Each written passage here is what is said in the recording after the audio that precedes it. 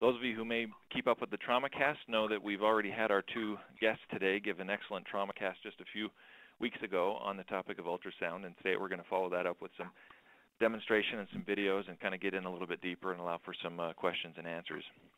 Our guests today are uh, Dr. Charity Evans, who's at the University of Nebraska Medical Center, and Charity will talk about uh, use of ultrasound in the trauma bay and kind of the early phases of resuscitation. And then Benjie will talk about uh, ICU and specifically talk about the uh, hTEE uh, continuous uh, echocardiography probe that we're going to talk a little bit about. Uh, speaking of that, I'd like to thank and acknowledge ImaCor. this both the TraumaCast and this webinar were made possible by a generous educational grant from ImaCor. They are the makers of the hTEE probe.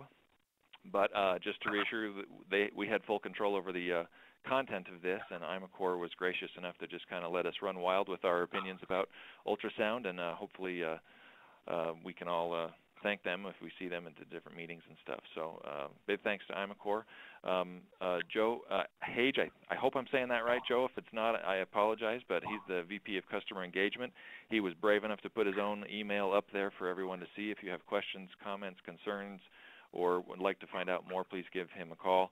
Uh, this uh, web link there, that's imacorinc.com, also has tons and tons of uh, educational resources if you want to go in and uh, look through it on your own. Well, without further ado, I'm going to go ahead and turn things over to Charity and uh, let you go ahead and take it away, Charity. Thank you. Perfect. Thanks, Dave. Hello, everyone. My name is Charity Evans. I'm an EAST member and also an assistant professor at the University of Nebraska Medical Center in trauma, critical care, and emergency general surgery here in Omaha, Nebraska. Um, as mentioned, today we're going to discuss Beyond FAST, ultrasound use in the trauma bay, um, followed by use in the ICU and other areas of the hospital. In order to best demonstrate some of the use of ultrasound, I recorded both my friend and colleague, Dr. Wes Zieger. He's one of the ER physicians here at Nebraska Medicine um, utilizing FAST and extended FAST. Our hope in doing that in, in, by showing you some of the videos is that we can better illustrate some of the skills needed for FAST and for EFAST. So let's go ahead and we'll get started. FAST, um, I think as everyone knows, is an acronym for Focused Assessment with Sonography and Trauma and has really become synonymous with bedside trauma or bedside ultrasound in trauma. The FAST exam per ATLS protocols usually performed immediately after the primary survey, sometimes concurrently with the primary survey of ATLS. It is the ideal imaging um, that is imaging modality because it can be performed simultaneously with other resuscitative care, um, providing the vital information without the time delay caused by both x-rays and by CT. It does give us that rapid information for us to be able to make those decisions. The concept behind FAST exam is that many life-threatening injuries are going to cause bleeding and trauma, and that it's usually that hemorrhage that's going to cause um, the hemodynamic instability that we see in our trauma patients. And although ultrasound is not 100% sensitive for identifying all bleeding, it is pretty good at recognizing the intraperitoneal bleeding in a hypotensive patient who needs an operative intervention like an emergent laparotomy or for diagnosing those cardiac injuries from penetrating injuries or from penetrating trauma that is also causing, like I said, the instability. Recently, research studies have shown that bedside ultrasound is equivalent to or perhaps even better than chest radiography for identifying the hemothorax or pneumothorax in trauma patients. For this reason, some of the trauma centers have begun performing an extended FAST or EFAST for evaluating for a pneumothorax or for hemothorax in addition to those intraperitoneal injuries. So we have to ask the question with any study, it's, it's important to know what is it that you see. It's important to know exactly what the exam is capable of identifying. And so for the FAST exam, we're able to see intraperitoneal free fluid, and we use these three views of a right upper quadrant, left upper quadrant, and pelvic view to see into Morison's pouch, the splenorenal right recess, and the pouch of Douglas. Uh, for the trauma patient, free fluid in the abdomen or around the heart is usually blood until proven otherwise, although we all know that that fluid can be something else. Um, when we when we look into these areas, the reason why we choose that right upper quadrant, left upper quadrant, and pelvis is that these are dependent areas, and it's where that fluid is going to collect. So we have the best chance at seeing it if we focus on those areas. The fluid is usually going to show up as dark or anechoic pockets of fluid. Uh, when we look at the heart, you typically will use a subxiphoid four-chamber view, which we'll take a look at in this talk today, or if we're unable to get an adequate view there, we may move to the parasternal view. And again, what we're really looking for is fluid surrounding the heart that is causing that hemodynamic instability. So just as important as knowing what we can see is knowing what we can't see or what can't be identified, no matter the effort or the skill level of the operator. And this typically includes retroperitoneal hemorrhage, which is important in those pelvic fractures, or small volumes of fluid, typically quoted as less than 200 cc's, although it, it, typically will take up to 400 cc's for us to be able to reliably identify it on fast exam. Hollow viscus injury is missed. Solid organ injuries, we may see evidence of them, but may not see the actual injury itself. And then blood that isn't there yet, and this is an important concept in FAST, is that it's a picture in time, um, but can be repeated. And so if we don't have enough fluid yet to be able to see the free fluid on FAST exam, we can repeat it if the person, if the patient again decompensates or, or we're unable to figure out exactly what's going on. So our indications for FAST. Um, the typical in indications are a hemodynamically unstable, blunt abdominal trauma patient.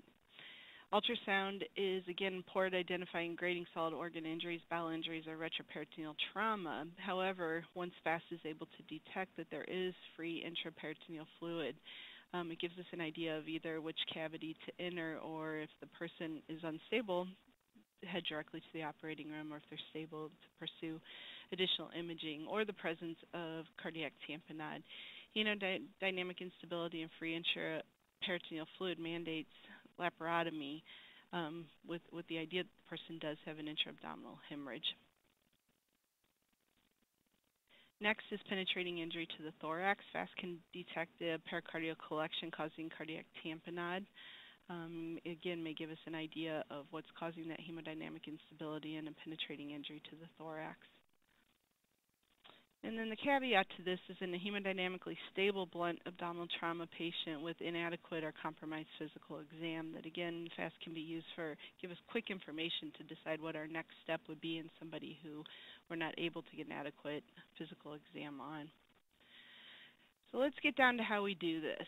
Um, I think one of the things that comes up, especially with our learners, is how do you even set up the ultrasound machines? And instead of focusing on any one machine, we'll just focus on the general concepts here.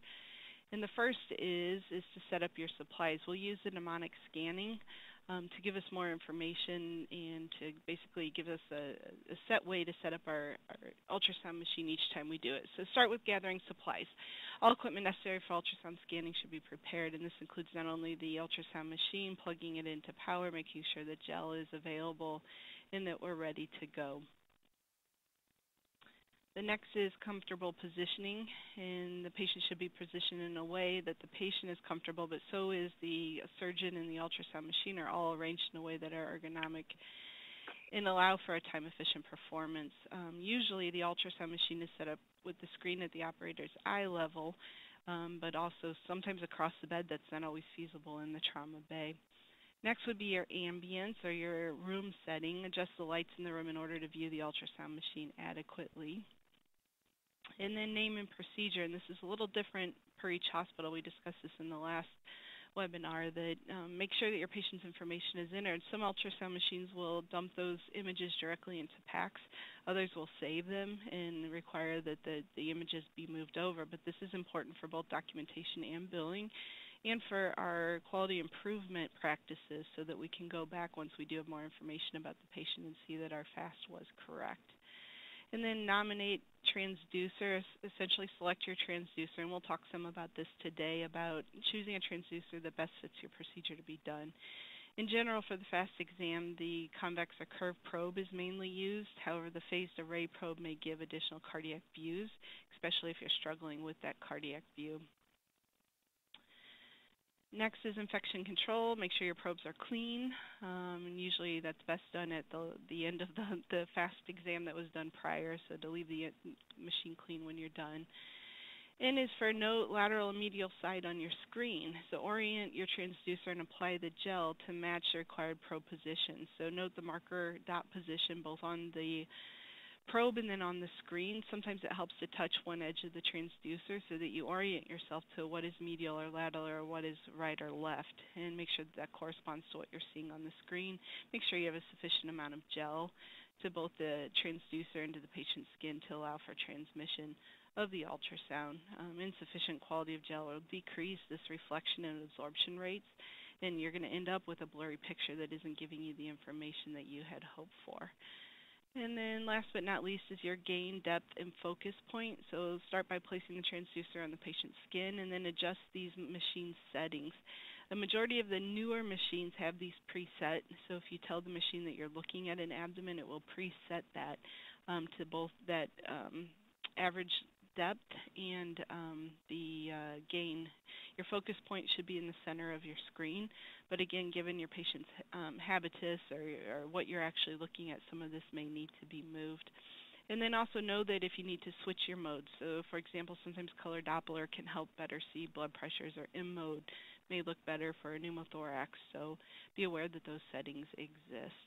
So let's move on to probes. Um, these are the two probes that are most commonly used in the FAST and EFAST. Uh, the first is the phased array ultrasound probe. Um, it is there on your left. Um, usually its, its beam shape is triangular and is good for a cardiac exam. On the right is the curvilinear probe, and its beam shape is mo more convex and good for more of a depth exam. And so we'll typically use that for the abdominal portion of the FAST exam. As we approach the cardiac exam, you'll see that the curvilinear probe can just be moved up and used for the cardiac exam, although it doesn't give as specific of a picture as the phased array. So let's jump into this. Um, the right upper quadrant view. This is a good place to start because if there is going to be fluid, it's usually here.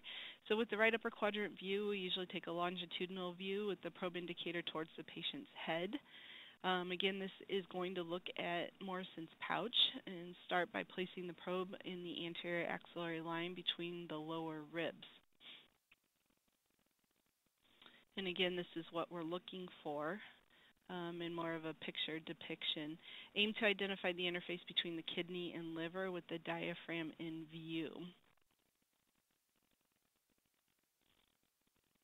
And this is the area that we're looking at. So I do ask particularly that, um, that the, the, learners find the tip of the right lobe of the liver as this is our most inferior portion and this is where the fluid is most likely to collect.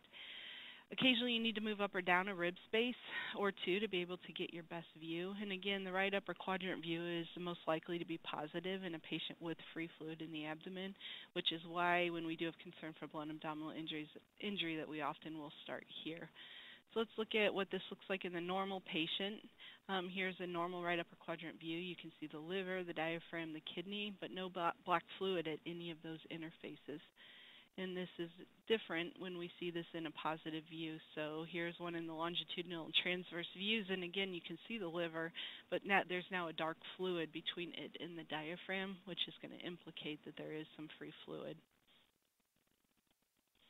The left upper quadrant view, um, orient the probe for a longitudinal view. Start with placing the probe on the posterior axillary line between the 10th and 11th ribs. This is more posterior or more cephalad than the right upper quadrant view. Aim to identify the interface between the spleen and the kidney and make sure that you also have the diaphragm in view. And again, this gives you an idea of what that looks like. Um, you again, you have the spleen and the kidney in the same view, when you do see that, you know that you are posterior enough and will pick up the area that is most likely to contain that fluid. The back of your hand is typically directly on the bed, which does make this a little bit more difficult. It may be underneath the pa patients in order to get that optimal view. If the person's awake and they can follow your commands, it may help to ask the patient to take a deep breath, which will bring those necessary, push down the diaphragm, bring those necessary structures into view. The left upper quadrant, most commonly by our learners, is noted to be the most difficult view to obtain. And so let's look at what some of these look like. This is a normal image. You see the spleen, the diaphragm. Um, we are more posterior. We're seeing that pleural space, and you see the spleno-renal interface. Here is a positive view. Um, so again, we see that free fluid sitting above the spleen. It's gonna, again going to show up as black fluid. Next is our pelvic view. This is the most dependent portion of the peritoneal space and is also likely to see an area where we're going to see free fluid. Start with the longitudinal view, and I know this varies some by the person doing the scan. Um, I think that it's easiest to see the anatomy in the longitudinal view, whereas when we turn the probe, sometimes it's difficult to, to keep your area to know exactly where you're at. Um, the probe is placed in the midline cephalad to the pubic bone with the marker pointed towards the head. Ideally, this exam is performed prior to placing your Foley catheter um, in a patient with a full bladder, only because with the full bladder, we're better able to distinguish the structures. And so again, this is the area that we're looking for. Um, the bladder will be, if it is full, will be relatively dark um, with the urine in the bladder. The pockets of fluid can be identified around, posterior, and lateral to the bladder. And again, remember that when a person does have significant hemorrhage from pelvic fractures, that this is likely to be in the retroperitoneal space and may destroy, or destroy, excuse me, to distort um, the anatomy in this area as it pushes the bladder either forward or, or to one side. Um, and also given the fact that this fluid is retroperitoneal, it may not show up on your FAST exam. So again, here's a normal view. The uh, urine in the bladder is black, but we don't see any of that additional black fluid on either side of the bladder. And then here we do see the free fluid um, black, similar to the urine that is in the bladder. So let's move on to the cardiac views. The first we're going to go over is the subxiphoid four-chamber view. This uh, view will identify fluid around the heart. The probe is usually placed in the transverse orientation and placed immediately below the xiphoid. Important to hold your hand on top of the probe because if not, you're not able to get enough depth to the probe to get underneath that xiphoid. Aim the probe towards the patient's left shoulder while applying pressure to the probe towards the patient's abdomen. And again, this is the view that we're looking for. This maneuver permits the scanning the surface of the probe to make full contact with the skin while still aiming towards the heart. And be sure to scan through the whole heart, particularly the posterior pericardium where the blood is going to pool first in our supine patient. So we're going to go ahead and show a video of this, give you an idea of what this looks like. So the first thing we're going to do is we're going to look at what's called a subxiphoid view. so we're going to get our label, we're going to look at subxiphoid. You can you can abbreviate it different ways. I'll use SX. You can spell it out. Um, it's okay. It just as long as it's clear what you're looking at. Um, so you have a choice of two probes you can use. We talked about the cardiac probe we used in the past. You can still you can use this. However, in a trauma setting, sometimes it's not convenient to start swapping through probes. So you can also use the abdominal probe to look for fluid in that area there. You just have to realize that there are some convention there are some convention issues related to how cardiology and echo is done versus how uh, the presets for the abdominal probe is. You'll notice that your marker over here is on your right, on the patient's right or the left side of the screen. That correlates to the marker on your probe right here. So for the cardiac exam, what we're going to do is we're going to keep it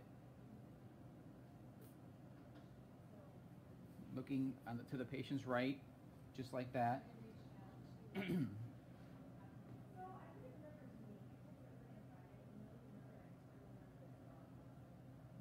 your positioning right now? We'll take, take it, so what we're going to do is we're going to keep it to the to the patient's right, and we're going to look just in the subxiphoid area. You're going to want to hold the probe from the top. If you hold it from underneath here or any other way like this sometimes, what you'll do is you'll block your ability to flatten out. So what I what you need to do is you need to kind of come down and what you do is flatten out your probe you're trying to image the heart in sort of a in the in from from below in a flat plane, and depending on how you're oriented will depend on what the heart looks like.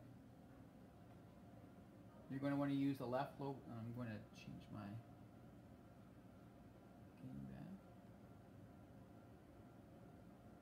Okay. So for this view, a couple of things you're going to want to note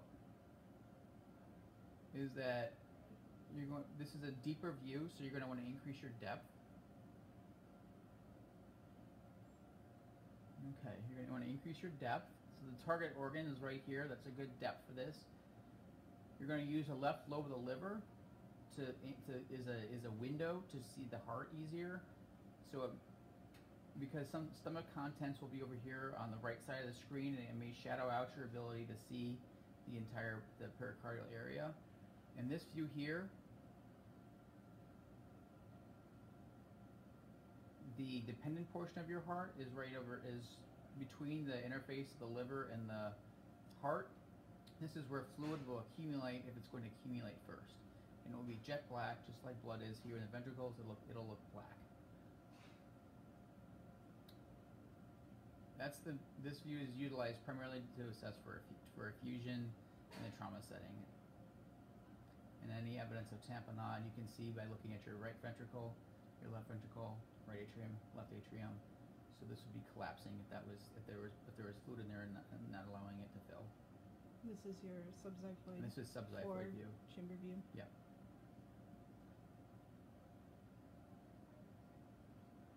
So it's just important to make sure that when you when you're using that you use the liver as you can to try and avoid stomach issues, that you flatten out your probe in the subxiphoid area, and then you just sort of then you kind of ro- small rotations and movements will allow you to see the all the, all the various chambers. Looking at here, we're going to take this and we're going to actually with the curvilinear probe we just used, it was to his right. Now we're going to go put it to his left.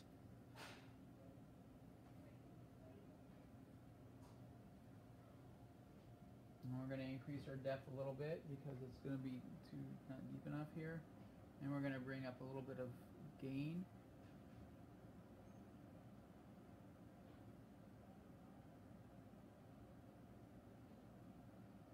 Okay. Alright, so again, you can see the same views. You see your right ventricle, left ventricle, your atrium sitting there. You see your lobe, your liver there. Important notice that the same views before the apex is still on the right side of the screen there. That's that's standard cardiac or echo orientation. Just note that I'm doing that because now the probe marker is for, is to the patient's left instead of the patient's right, which is what they would use for the curvilinear probe. So that's the only nuance when you're looking at with cardiac probe compared to the um, curvilinear probe or abdominal probe as far as uh, probe orientation. Okay, so hopefully that was helpful. And again, you saw both um, using the the curvilinear probe and the phased array. Um, sometimes it is easier to go ahead and use the curvilinear probe because it's what's in your hand after the abdominal fast portion, um, but the better views can be obtained um, with the phased array. So let's go ahead and look again at some normal views. Here's a normal subxiphoid four-chamber view. Um, where you're able to see all four of the chambers. The apex is to the right of the screen. And here's an abnormal view. And again, we're able to see that pericardial effusion blood inside of the heart is going to be black, um, similar to the fluid that is outside of the heart as the pericardial effusion. So in the extended fast, uh, we're going to go ahead and include some lung views, and we're looking for pneumothorax, hemothorax. Um, these are set up using um, the phased array linear curvilinear probe. Um, with some of these, because again, the curvilinear probe is used to looking at deeper structures, in particular the abdomen, you may need to say change some of your presettings um, to be able to see correctly. So the curvilinear probe can be used if you just completed the abdominal exam, but your linear probe is going to give you your best view. Usually start with a longitudinal view at the second intercostal space midclavicular line.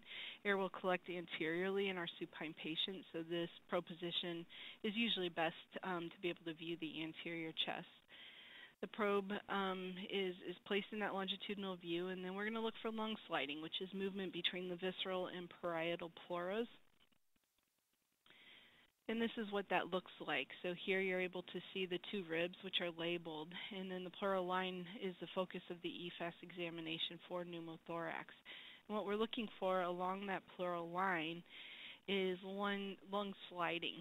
And essentially what lung sliding is, is we will see um, essentially the, the rubbing of the parietal and visceral pleura that will look like um, either some people call it a blinking line or ants walking on a line. You can also look for a comet tail artifact, and this essentially um, it looks like searchlights extending from the pleural line perpendicular to the pleural line. These are also known as B lines, and these are reverberation artifacts that appear as these hypoechoic vertical lines that extend from the pleura to the edge of the screen without fading. Um, these are going to move synchronously with lung sliding respiratory movement. So when they are present, this implies that there is lung sliding and rules out a, normal, a pneumothorax. We also can switch over to the M mode when assessing for pneumothorax. The M mode is going to detect motion over time and will evaluate the pattern below the pleural line. This is beneficial mostly in patients where sliding may be very subtle, such as the elderly or a patient with a poor pulmonary reserve who's not taking very large breaths. So a seashore line is considered normal, and this is at the pleural and lung interface, you see a wavy pattern generated by that sliding motion. And because, again, this is what we would consider normal and it is implying that there is motion, this would be negative for pneumothorax. The stratosphere um, is abnormal, and this is where the pleura and lung are indistinguishable as linear hypoechogenic lines. This is a motionless pattern because there is not lung sliding and is reliable for the diagnosis of pneumothorax. So again, we'll watch a video of how this is done makes the EFAST exam. What it typically involves is lung, lung images. The first thing to do is to figure out what probe you're going to use for lung images. If you look, there are two, there are, you can use any one of three probes. I'll tell you the advantages quickly of each one. You can use the phased array probe we just used for the cardiac imaging. That would be, that, that usually has some lung settings built into it. That is one option to use for uh, the lung findings. The advantage is it's already in your hand if you're using it for the heart. It has presets already made for it, and it has nice depth, so you'll be able to get all the way down to the to the depth you need to for that exam. You can also use the linear probe, which we haven't we haven't used yet, but this is the linear probe. The high frequency of the linear probe allows for a good resolution. It's really good for more superficial findings. So if you're looking just at the very lung pleura, you can use this probe as well. The advantages that you'll see nice detail. Disadvantages is that you won't, it, uh, depending on the on the width of the probe, it gives you finite width of rib space you can you can look at, um, as well as it, is it the for the deep, deeper you go, the the worse seeing the images or the diff more difficulty it is to, to obtain the views you need. The other probe you can use, which is the one that I typically will use, is a, is the abdominal probe.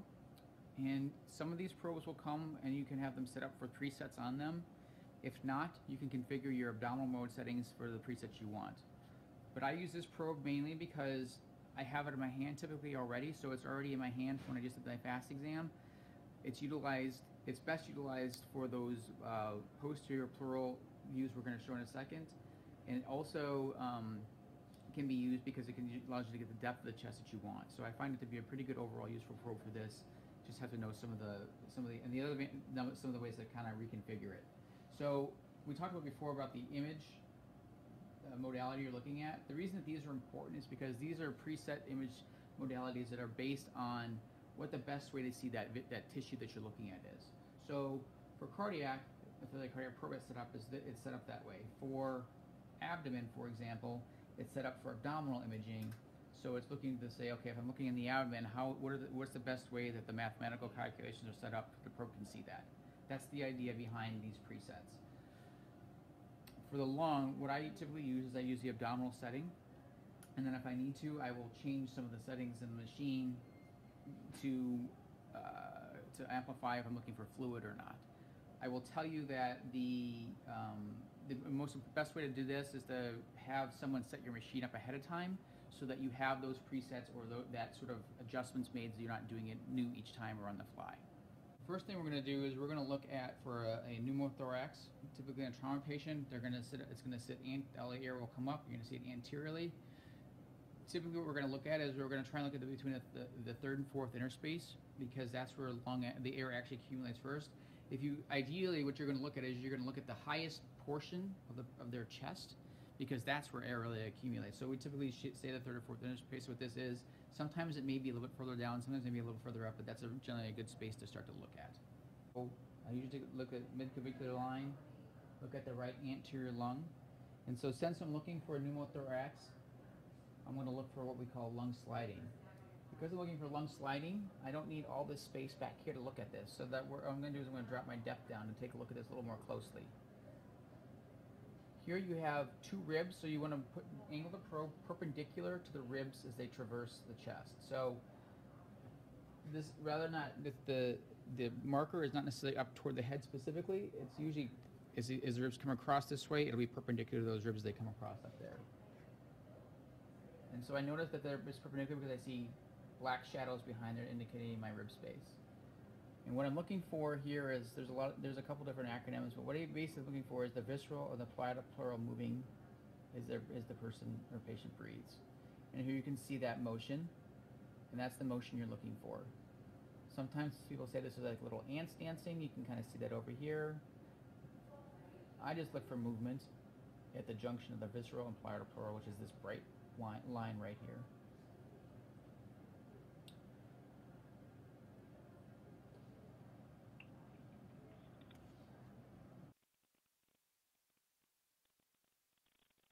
Okay, so we also can assess for hemothorax or pleural effusion, and again, this is the same probe and positions as the um, FAST exam because we are going to look at that that low angle um, near the diaphragm. We're looking for fluid above the diaphragm, and again, the amount of fluid required to see on imaging, as you can see in ultrasound, is only 20 cc's, significantly less than your upright or supine chest X-ray. So this really is a great way to be able to see fluid, um, especially in our trauma patients. We'll watch how this is done. The other for the EFAST, the other portion that we're going to do is the so we talked about anterior look for pneumothorax primarily. The, we're going to do a, a posterior lateral uh, a posterior axillary line view that looks at the diaphragm um, relative to the spine to look for pleural-based fluid. So this looks very similar to your trauma views we already did before. So a lot of times what I will typically do is when I'm doing my right upper quadrant view, I will slide the, the probe just a little bit toward the head because this, this looking at the trauma view, I'm usually up here. All I do is I slide a little bit toward the head, come back a little posteriorly here. And what I'm looking for is this diaphragm, and I'm looking for this spine. You can see the vertebral body is right here. Okay, this right this is the diaphragm. Notice as he breathes, part of his spine goes away. That is normal. That's what you want. If there were, and the reason why is because what's going on is, is ultrasound's coming through here. The lung and his air, the air in his lungs, is actually dispersing the beam and not allowing that transmission to me to see the spine. Much like the liver and kidney are a great transducer or kind of ultrasound friendly, so I can see stuff behind there. On this one, I can't when that lung gets into view. So if I can, if this, when he breathes in, if I still saw spine this way over here, that would indicate to me that he has fluid in that pleural space. And that's what we call a spine sign, like a positive spine sign. So last, we just want to revisit this idea of the cardiac probes because, as I mentioned, as you saw in the earlier video, the same curvilinear probe can be used for the cardiac exam that we use in the abdominal exam, but in general, the phased array probe is better for the cardiac exam. So I want to go ahead and again take a look at what that looks like. The subxiphoid view with the curvilinear, the abdominal probe. So I just want to point out that you can use the cardiac probe for that. It's one of the standard views for that this probe, but I want to point out some orientation issues that are different than when you're using the curvilinear probe. The first thing you're going to do is you just select the right probe. So we're going to go back to our transducers screen on whatever machine we're using. We're going to go to the card the probe that correlates there, the cardiac probe. Um, most probes have a label on all of them. In fact, they all do. They'll tell you what probe they are and also what, what frequency range they go in. And you can actually pick your, they will have them labeled typically in the screen that you're looking at, on the, especially the newer machines. So I pick the probe that matches. And then I also know that I'm on the right probe by looking at my, my desktop here, my ultrasound desktop, what I call it. It's the it's this probe here, which is labeled here, and it's the and it's the five to one megahertz probe. That's correct. And now I'm also on my cardiac settings, so I know what probe I have. Important when you do cardiac settings is that you notice that there, your marker over here flips. So your marker now is on the right side of the screen, whereas before it was on the left side of the screen. This only happens in cardiac mode settings. It's, it's the only mode that we typically use in, from point of care ultrasound that does this. Um, it, it, the important thing is is that you just need to kind of remember the orientation of this of your probe marker probe and how it's in the orientation it is in the body so that you have similar images no matter if you're doing it using the curvilinear probe for the cardiac setting or the phased array or the cardiac probe for the subxiphoid images. So So with that understanding, um, if we're unable to get a great view with the subxiphoid four chamber um, view, we can go ahead and, and use our phased array probe to get a parasternal long axis view. So the phased array probe is placed to the left of the sternum. And as mentioned, the probe marker oriented to the right shoulder. Move the probe towards the feet until you're able to see the full view. Um, and this is what we're looking for should be able to bring the descending thoracic aorta into view to distinguish pericardial versus para, para uh, excuse me, pleural fluid. And again, we'll give you an idea of what that looks like. the other view that we're going to look at is a is a long axis view, which is the other view you can get if you have a hard time using the if you can't get a subxiphoid view, which is not uncommon during trauma patients because either they have a lot of gas in their stomach and they're over over um, they're blocking your window for your liver to use, then sometimes you can use a parasternal long axis view of the heart, which is uh, on the chest itself. Everybody's a little bit different, so what I typically will do I'll take the probe, I will start high, I'll orient it toward his the marker toward his right shoulder, and we're going to drag it down parasternally on the screen until I see exactly what I want on the screen, which I see right here. The distance between the probe and the heart is a lot shorter in this view, so we know that. So we're going to change the depth to make this a lot easier to read.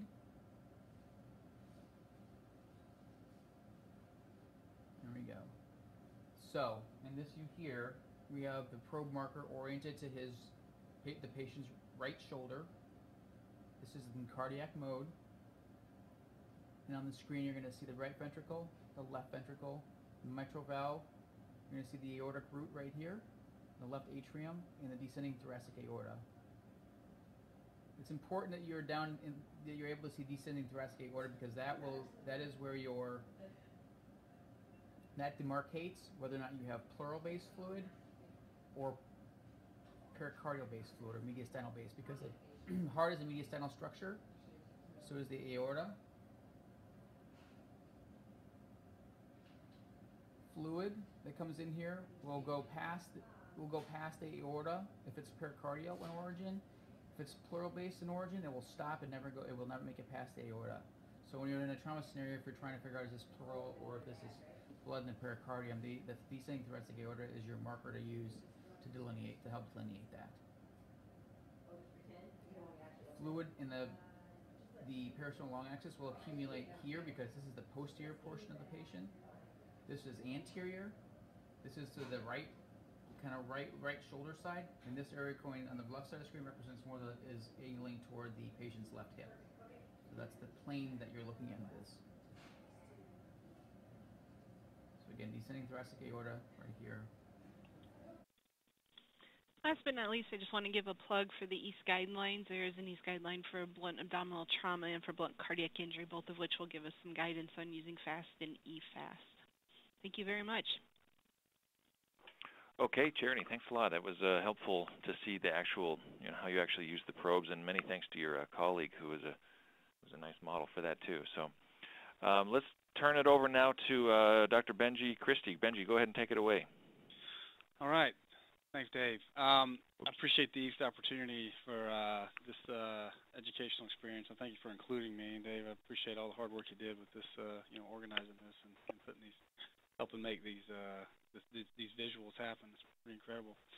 Um, I've got a reasonable amount to get through, and uh, I've been known to do a little more storytelling than sticking to the script. So um, I put an outline together just to uh, just to provide a brief overview of uh, where we want to go, I've uh, uh, got a few slides just to discuss uh, kind of what hTEE is and where it's come from, and within our um, practice sphere, you know, how we use it, and I've selected four cases that I consider pretty routine for us, and I'm sure they're routine for you as well. Um, I've got a brief sort of section on methods of interpretation and then future directions, and then I'm hoping to hustle so we can have some good question discussion time.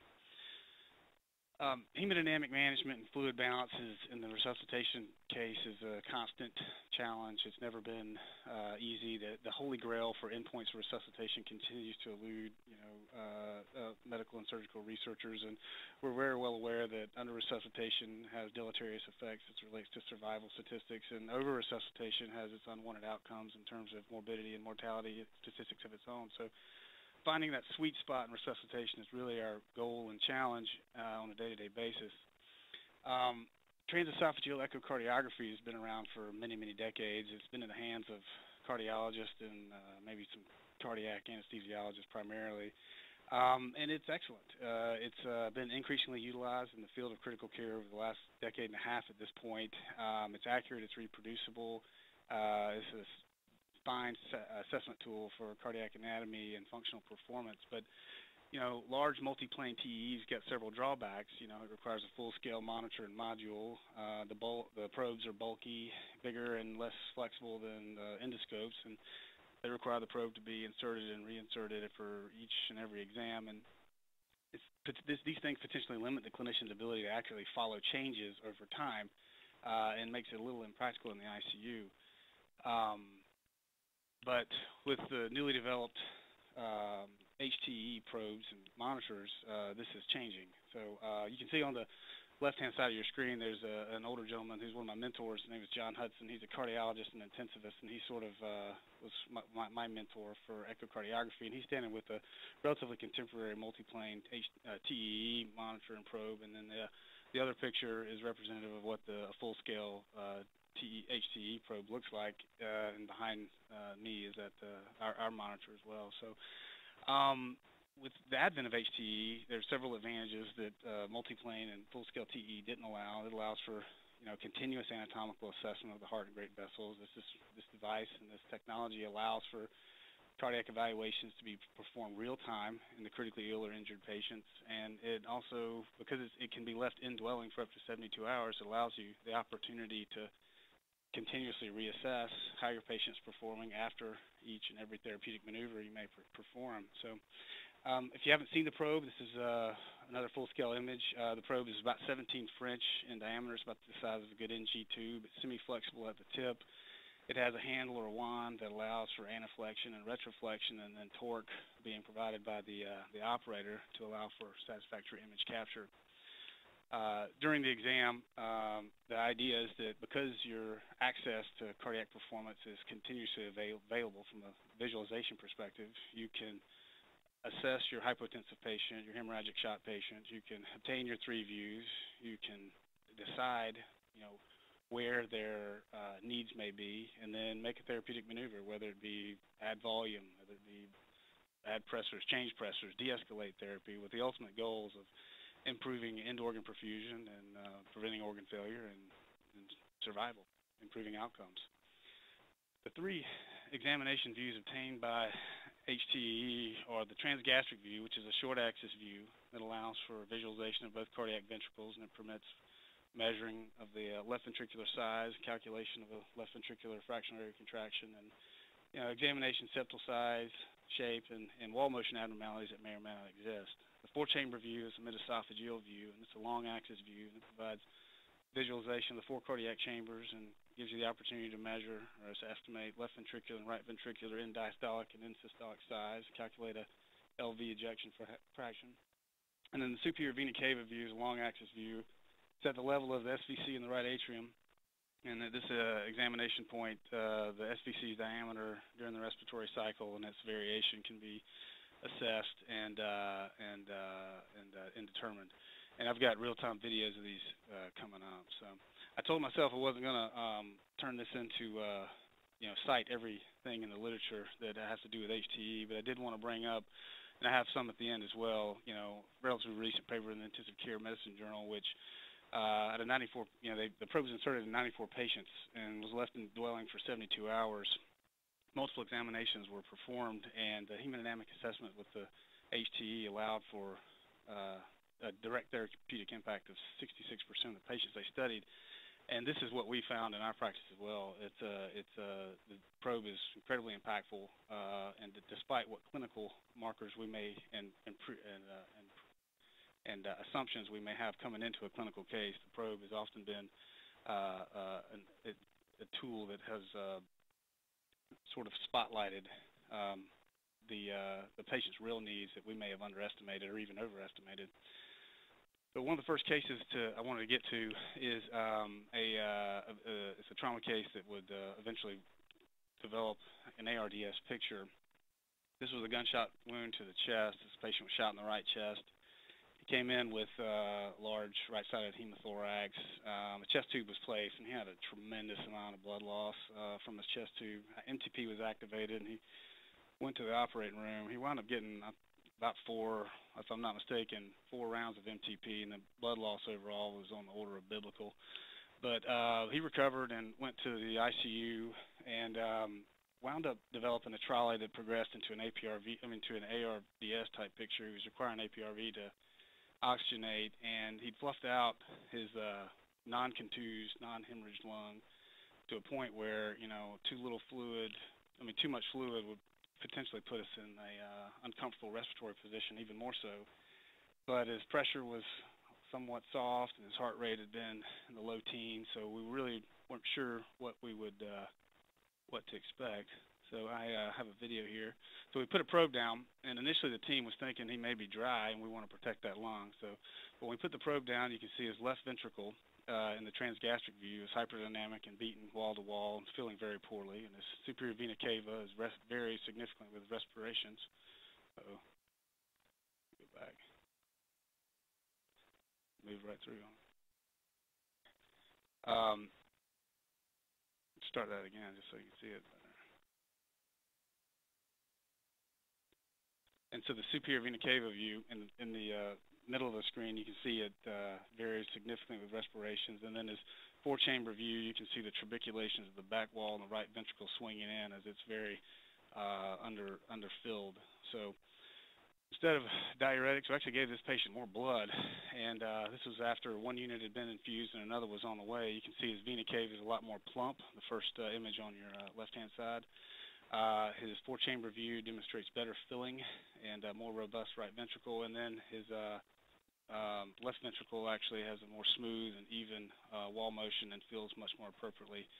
So uh, while a young man who had had uh, multiple rounds of MTP, uh, one would think, at least I would have estimated, he was volume overloaded. He was in fact not, and the probe helped helped us understand his physiologic needs a little bit better.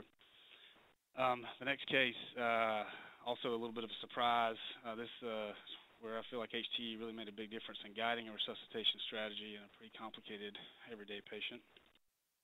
This patient, one of my partners, did a uh, uh, uneventful, very successful laparoscopic appendectomy on a 72-year-old male. Um, patient went to the recovery room, but in the recovery room they had uh, some monitor changes implying ST segment elevations. They got a 12-lead EKG in the recovery room, and he was they were real. Uh, but he was hemodynamically stable. He was asymptomatic, and they chose to monitor him in one of our cardiac observation step-down floors. But on post-op day uh, number two, his enzymes had risen a little bit. His troponin had bumped. It wasn't, you know, it wasn't uh, astronomical, but it definitely was a noteworthy lab. He developed respiratory distress, got short of breath, uh, had an oliguric trend in his urine output. Um, his creatinine was rising, and they intubated him on the floor and sent him to the ICU uh, hearing the story and uh, checking the plain film, you know, the initial assessment on our end was he's probably volume overloaded, and we need to be, you know, prepared to uh, maybe be a little restrictive with this fluid imbalance and also maybe even diuresis. But we uh, used hTEE to help us understand him. In fact, it was the opposite. He was uh, volume depleted. His uh, left ventricle filled very poorly with hyperdynamic wall motion. His superior vena cava was very, very collapsible and uh, his uh, right ventricle on four-chamber view also was uh, uh, um, very volume depleted. Um, so he actually got aggressively resuscitated, and, and uh, we rechecked at four hours, and he had smoother left ventricular wall motion. He had better filling. He had a more plump and robust vena cava and uh, his uh, RV uh, better, and he had much more even cardiac wall motion after uh, resuscitation. This is just for four hours. He went on to do fine. He began making adequate urine per hour, never had any further rise in his cardiac enzymes. And I really feel that uh, you know being able to see uh, him respond and understand what he needed with direct visualization was one of the reasons. this is a, a routine trauma case, case number three. Um, and those that are uh, paying careful attention in the audience can probably qualify this as an M&M, and I've already taken this beating. But uh, this was a 58-year-old male who um, came in as a two-car head-on MVC. He was awake, alert, and oriented. He was tachycardic in the 120s. He had pain. He had sources for pain. Uh, but otherwise, his vital signs were stable. He sat fine. He had left hip pain and an obvious right, you know, ankle deformity. So he had uh, got some CT scans after his primary secondary survey, and you know, he had a very small spleen lac. He had a, you know, relatively complex left tab fracture, but did, you know, had a small pelvic hematoma. And then a uh, left hip fib fracture with uh, distraction at the level of the right ankle. Um, for whatever reason, the orthopedist and the uh, and the uh, operating room were just ready to go. Um, he'd gotten uh, two liters of crystalloid in the uh, trauma bay and was getting some more. Um, they had, uh, in a relatively expeditious fashion, just wanted to take this patient on up, and we, you know, uh, allowed it. He got a ORIF of his tib fib and stabilization of his tab, but intraoperatively his heart rate had stayed in the 120s, and his blood pressure seemed to sag in the mid 90s. And they checked the intraoperative lactate, and it was 3.5. Hemoglobin was stable intraoperatively from, you know, admission values, but they anesthesia reported giving him two units of blood, five liters of crystalloid, two amps of bicarb, calcium gluconate, and the orthopedist only reported 125 cc's of blood loss with all that. But he came to the ICU and, and he was unstable. Um, he had what I would feel a relatively reasonable volume of resuscitation in the operating room, but he remained tachycardic and, and uh, hypotensive. So uh, we placed a probe to better understand him, and um, he was uh, very volume depleted. Uh, you can see his vena cava is almost ribbon-like, and uh, his left ventricle uh, functions very poorly and feels very poorly. Um, we began resuscitating him with uh, uh, more crystalloid, and um, this is uh, just a demonstration of the vena cava, the superior vena cava, as pre-bolus and, and post-bolus. This is around the four-hour mark. He had uh, very ribbon-like vena cava at baseline, and then after fluid resuscitation, he responded very nicely, and uh, you can see his vena cava is a lot more plump. And the same sort of comparison view with the uh, transgastric view. The left ventricle feels poorly and functions poorly on the uh, the pre-bolus uh, image, and then post-bolus, it's a little more smooth and has a little bit better filling volumes. Uh, and this was a uh, the four-chamber view. Uh, you know, basically had an obliterated right ventricle with no volume, and then much more uh, still under-resuscitated, but had a better right ventricle after uh, his uh, therapeutic interventions with crystalloid infusion. So. The final case to kind of run through is this was a it was really he was ejected from the back of a truck, and he had multiple injuries, and uh, including a multi-level C-spine fracture that gave him a component of spinal shock. Um, he had uh, resuscitated in the trauma bay. He had an operation the night of his arrival, and uh, was in that kind of complex uh, uh, position where he's had a tremendous amount of volume, yet he's got a component of spinal shock. Uh, when we were rounding on him, he'd somehow found a way to have pressors titrated all the way up to the 20s. Um, so we checked with our probe. We'd been following him, and we started recording kind of where he was. And on the left is transgastric view. This is him on 22 Levophed, and he uh, looks like he has got a little hyperdynamic wall motion and needs volume. The vena cava supports this. It's very collapsible and implies he would respond to volume. We gave him volume and uh, we weaned his pressors. Uh, he's a little more euvolemic now at uh, about 3.5 hours, and uh, his Levophed is down to 12. His SVC is less collapsible. It's got a little more structure to it. 16 hours later, uh, we're still weaning pressors. In fact, they're off. Uh, he's got very smooth left ventricular wall function. He feels very well, and his vena cava is very satisfactory in size and implies it's it's would not necessarily be responsive to volume therapy. The uh, left ventricle um, at 24 hours looks normal. Mid-esophageal view at 24 hours, uh, his left and right ventricle both look normal. So, so if, if you, once you get the images, you know, you practice getting the images. So what do you what, what do you make of them? That's a question I've heard before, and uh, I just showed you the pictures. But so there's a lot of ways to calculate and measure um, what uh, what you're seeing and translate that into um, what uh, what what it means as it relates to patient needs. So the superior vena cava, there's uh, an indice where uh, one would uh, expect the patient to be volume responsive or volume unresponsive. Uh, about 36% is the number around which the collapsibility implies volume responsiveness or unresponsiveness. Um, you can calculate fractional area change, left ventricular and right ventricular size ratios, uh, left ventricular end diastolic area, target ranges. Uh, these are all like well supported and um, they're uh, exercised in, in not just uh, the hTEE world but in the cardiology world as well. Um, there is uh, the visual estimation method um, which, you know, with enough practice, and sometimes when we're standing over extremes of performance, just understanding where a patient is and where they're going and what you've changed and how they're performing clinically is, is more than satisfactory.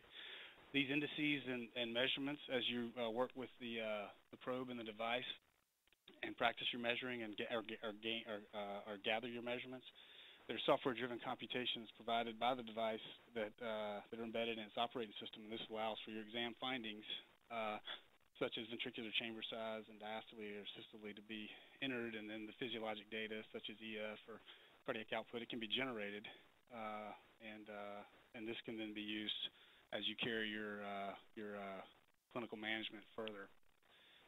So future directions, you know, I, what I feel we have been doing with hTEE is we've been standing over extremes, and now we're starting to uh, tailor our therapy better. We're being a little bit more refined, a little bit more precise and accurate. Um, I think that uh, there's been some excellent work, specifically in the ECMO world and even the cardiac surgery world, and real recently. Um, there was a paper that demonstrated, uh, that documented RV dysfunction as a new data point, and I think that RV dysfunction should be a new data point. Um, if you uh, consider what cardiology has been doing in the years past, which is sort of disassociating the two sides of the heart, the left and the right side, as we've understand more and more about pre-existing diastolic dysfunction. You know, how is that going to impact, you know, uh, resuscitation strategy in a patient with a pre-existing cardiac issue? If the right side is, if the left side is basically the, the, the, the you know, the filling and, and then secondarily our systemic pressure, the right side is our, is our flow. And without good function of your right side, you won't have good flow. Without good flow, you won't have good filling. Without good filling, you won't have good blood pressure. So I think as we respect the RV more, um, I think we'll see that become a, a new data point. Um, I think as it relates to uh, management of uh, trauma patients or the acutely ill or injured patients, the, the concept of avoiding uh, hospital-associated events is, uh, is, is, is certainly a big deal in, in my facility. And um, you know, using hTEE to avoid um, AKI driving to uh, CRRT is something that uh, I feel there's a certain there's a real role for. And um, a lot of people are working with uh, uh, hTEE and uh, and uh, and how they can better manage fluid to be more renal protective.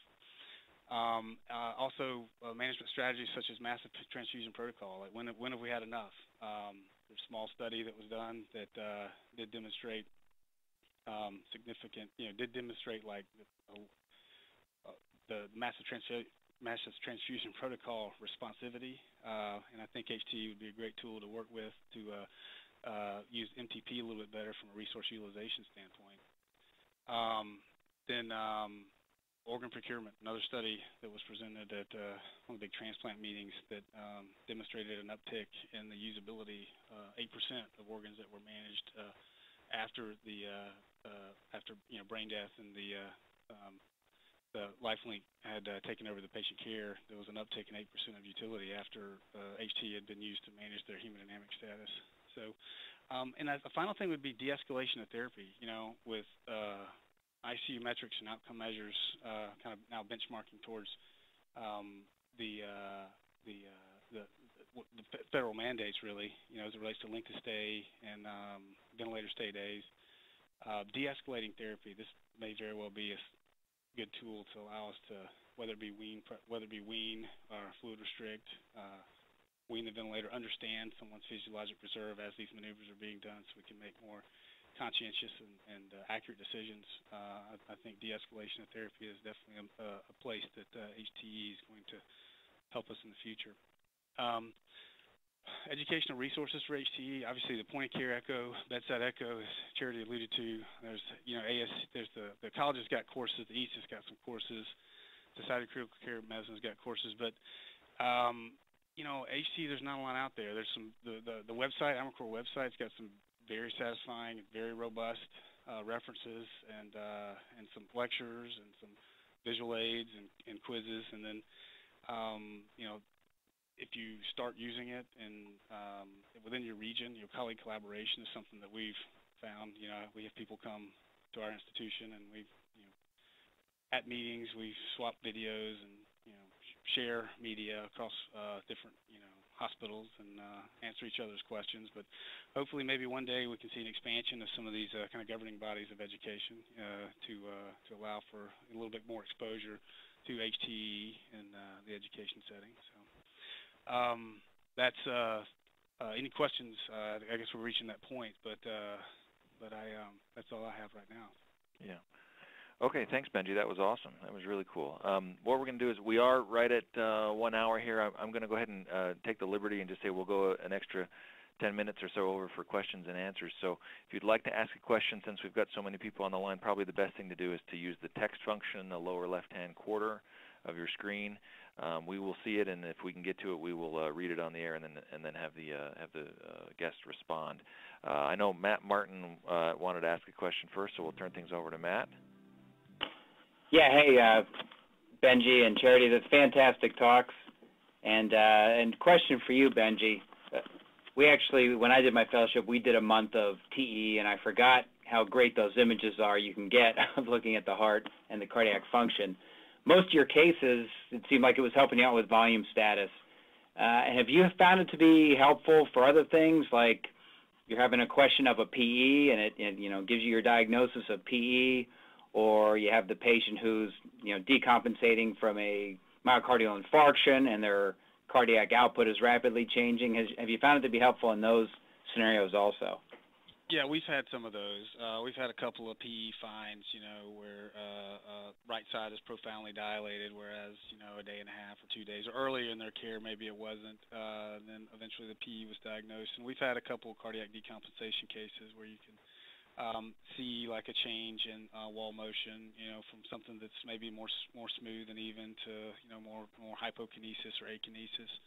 Um, and uh, and those uh, those images are you know definitely um, noticeable um, and uh, fun to compare. But uh, but uh, yeah, we, we we catch those from time to time.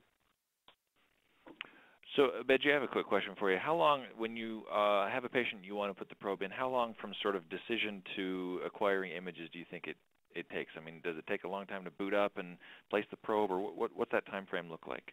Oh, it's quick. Um, you know, we turn the machine on, and uh, once it's ready, uh, you just you know have a probe. Uh, uh, usually, we just have to walk down to Central Supply and bring it right back. Um, once you put the probe down, uh, you assign the patient. You know, puts the patient information into the into the hard drive, and then um, take your handle, assemble it to your probe, and you're in business. And the image is it's pretty it's pretty immediate. The image capture.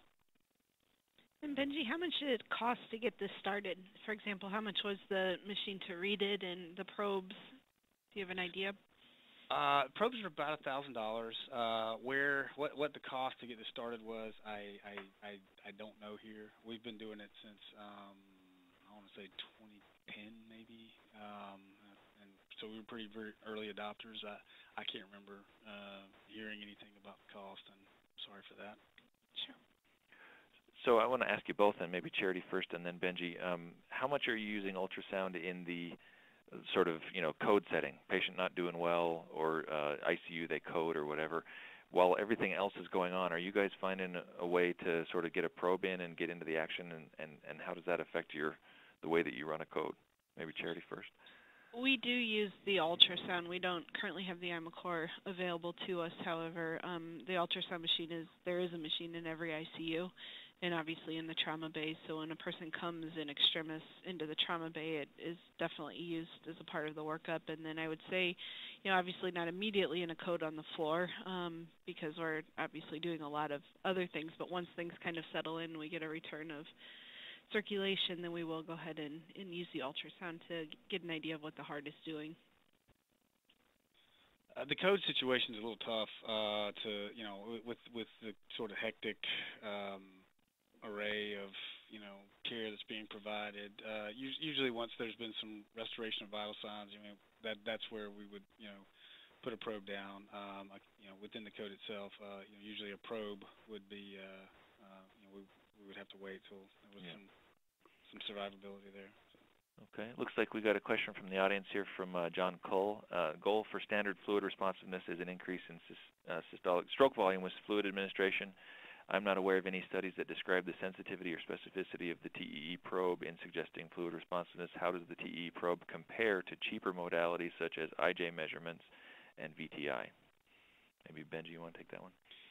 Um, there, there are some studies that sort of uh, compare um, uh, the the fluid responsiveness of the vena cava uh, to SVC view and, and even the IVC view obtained through uh, transabdominal approaches to, um, uh, to to more traditional methods. I, I don't have the reference off the top of my head as it relates to you know what like you know um, CVP has done in the past and but um, but I can't like you know give you the I, I can't give you a direct reference right now. I'm sorry for that. But as it relates to cheaper modalities, um, I, I, I, you know, we've used cheaper modalities in the past, and I feel just anecdotally uh, that this is more accurate. Uh, I've walked into a room where cheaper modalities have also been used, whether it be, you know, someone situated with CVP, for example, uh, and you know, we put a probe down, and we not that CVP is misleading, but uh, we've been surprised with how much more we learned uh, about needs uh, because of the hTEE. And is the TEE probe measurements that you get, with or the visualization, the images, whatever, they affected by things like high PEEP or high inspiratory pressures like your CVP or your other wedge pressures might be? Yeah, I mean, if you if you are certainly in your uh, your, your superior vena cava view, uh, if you are on escalate, you know, elevated um, PEEP, you know, that your vena cava would be a little bit more plump, but uh, but considering that in your interpretation, that's about it. Uh, another question from the audience here. How much time is needed? This is from Victor Koba. How much time is needed for operator to be trained to be able to use hTEE? Um, that's, I don't personally think it's that hard, to be honest with you. Uh, I know they have uh, clinical specialists that uh, does that, you know, make it very easy, to be honest with you. We, we train residents, we train fellows. They pick it up quite quickly. Um, and uh, once you've captured, once you've practiced capturing the images, uh, the next step is just, and as you're learning to capture images, the next step is just conceptual interpretation. And uh, and um, it's, I don't, I don't find it to be difficult. I think it's something that just takes a little bit of runtime, and and um, I think it's something that is a great tool. I think everybody, if they have the interest, really ought to give it, give it a try. Okay. A uh, question from uh, Rich Lesperance. Uh, Charity, benefit of using cardiac view of FAST during initial evaluation of pulseless patient. Do you factor that into deciding whether to terminate or continue resuscitation? We absolutely do. So in a patient um, who comes in with CPR in progress, one of the first things we do as a part of um, obviously the ATLS primary survey is to go ahead and look at the heart. If there is not cardiac out, activity there, chances of survival are very, very, very, very slim. And so depending on the circumstance, how old, how young, what the reserve, you know, estimated, obviously you don't know the person reserve, is it will make, it will sway us one way or the other because if there is no cardiac activity, let's say in a 90-year-old who fell, then yes, we would um, decide to terminate the resuscitation at that point. Um, so yes, we do use it in, in a coding patient. Uh, question from Scott Roth. Do you rely on volume responsiveness alone, or is LV filling and RV function important in resuscitation? Um, it's very uh, LV and RV filling is very important. Um, in fact, uh, you know, the responsiveness alone may not necessarily tell us, you know, what our uh, flow is going to be. I mean, with with the idea of right-sided uh, dysfunction or function, um, you have to respect the right ventricle because in just you know 15 seconds, you can overdistend the right ventricle, have very poor right ventricular uh, cardiac wall motion, have very very poor function, and then secondarily you'll have very poor filling. So I would say that uh, yeah, RV dysfunction and RV function is is pretty key as well as uh, LV function, and I think honestly those th- those functions dictate uh, responsiveness. Okay. Well, we're right at 10 after the hour. I, I said promised that we would have to cut things off, unfortunately. Uh, again, I want to thank the kind people at ImaCor for uh, funding this and for making this possible and uh, giving this generous educational grant. Again, I encourage you to go to their webpage. As uh, Benji mentioned, they have some really great resources there to kind of, if you're interested in hTEE, they've got some great, uh, I mean, not just specific to hTEE, but also great just echo uh, resources and information there. Um, Again, many thanks to our uh, guests, uh, Dr. Evans and Dr. Christie. Thank you both. It's clear that uh, I personally have a lot of catching up to do when it comes to ultrasound and utilizing it in the care of patients. I'm still so 20th century, apparently. So thank you both for joining us and for doing this. Much appreciated. Absolutely. Thanks for the opportunity. Thanks for having.